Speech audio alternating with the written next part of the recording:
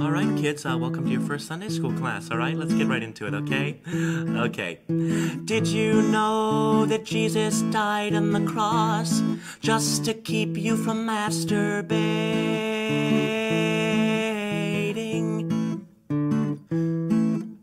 And did you know that prior to 1960, he frowned on interracial dating?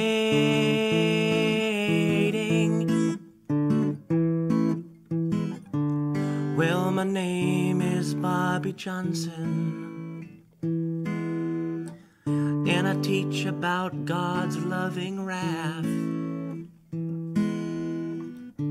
And though I try to live by the Bible and what it says, I think I might have stumbled from the path.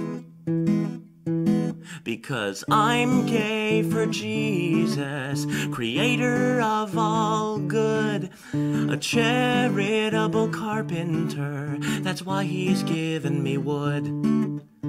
I'm gay for Jesus, let the people rejoice. But it's not about lust, I don't want to nail him, that was a poor word choice.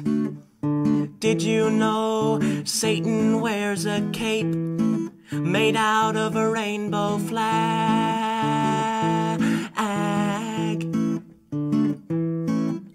And did you know that Jesus hates abortions unless the kid was a Jew?